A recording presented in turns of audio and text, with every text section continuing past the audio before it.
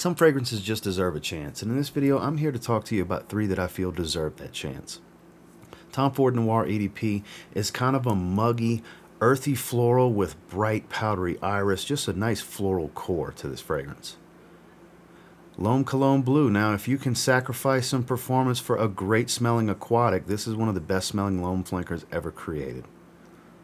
Eternity Cologne, the modern take on the original's DNA. The Ambroxan really freshens and brightens this one up. It's lovely. Make sure to follow for more.